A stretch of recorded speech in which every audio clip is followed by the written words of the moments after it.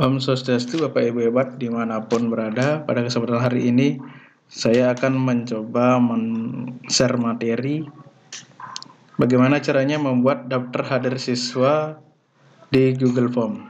Yang pertama, Bapak Ibu harus punya yang namanya akun Gmail.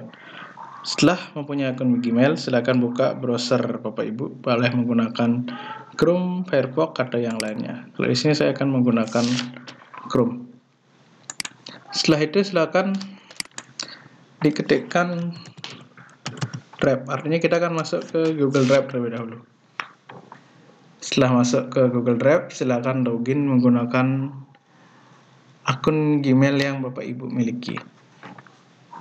Nah, di sini kebetulan saya sudah pernah login menggunakan akun Gmail saya. Ya, mohon bersabar.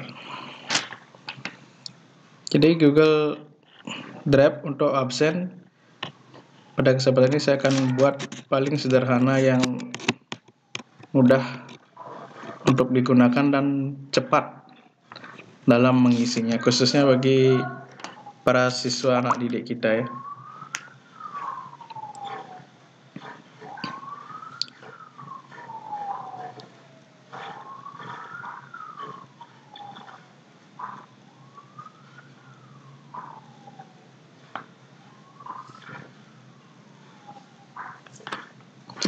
Nah, baik. Setelah itu,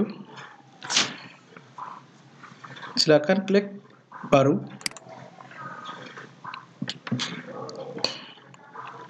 Jadi fitur Google itu sebenarnya ada banyak, ada Google Doc, Dokumen, Google Doc.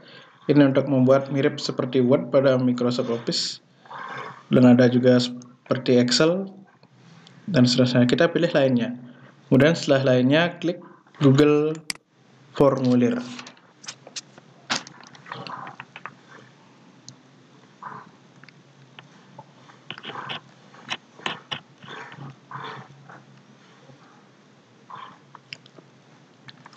Nah, seperti ini tampilan dari Google Formulir. Yang pertama ini, yang pertama harus kita lakukan adalah membuat judul. Membuat judul misalnya, misalnya daftar hadir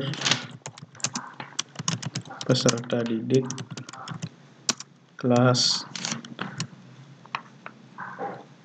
7A informatika itu misalnya. Nah untuk deskripsi ini keterangan judulnya ya. Boleh kita presensi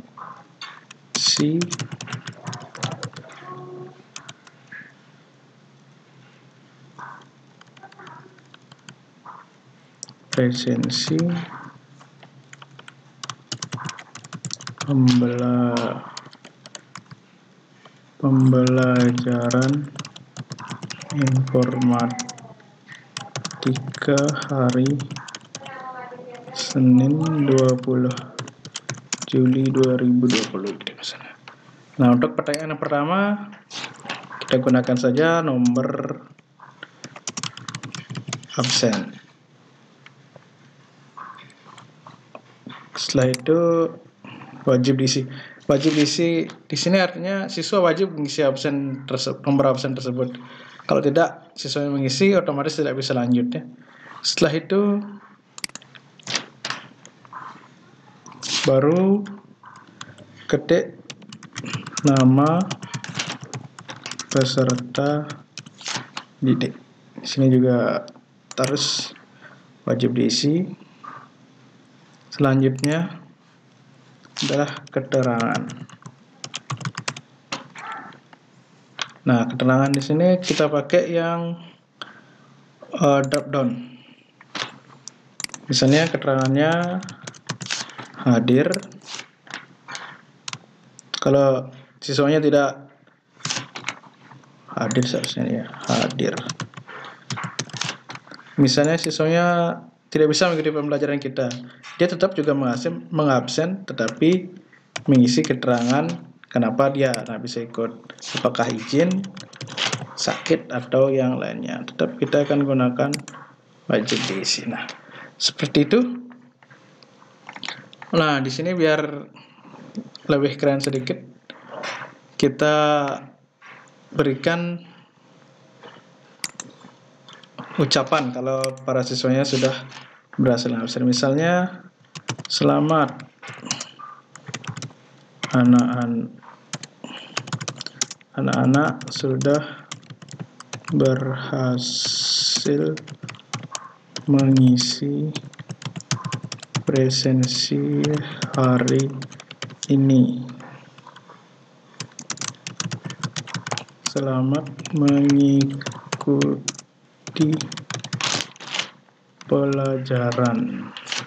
Nah, gitu misalnya. Otomatis nanti ketika siswanya berhasil mensubmit daripada formulir ini akan muncul tulisan seperti ini. Gitu. Jadi kita simpan.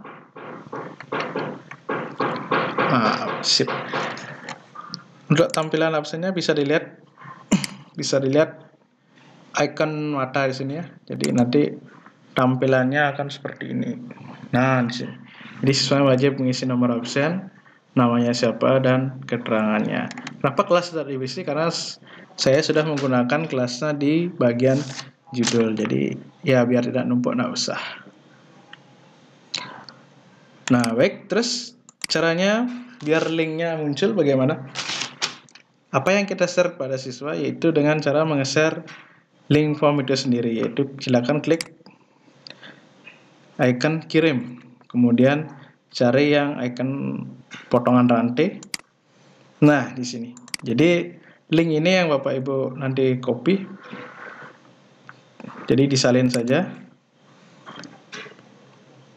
Nah, setelah salin baru nanti kita bawa ke grup WA peserta didik.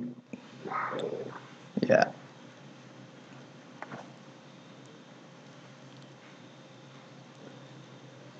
Misalnya dikirim ke mana?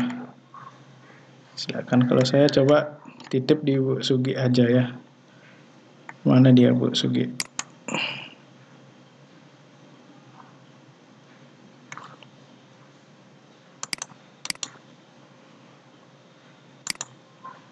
Nah, jadi ketika ini dikirim otomatis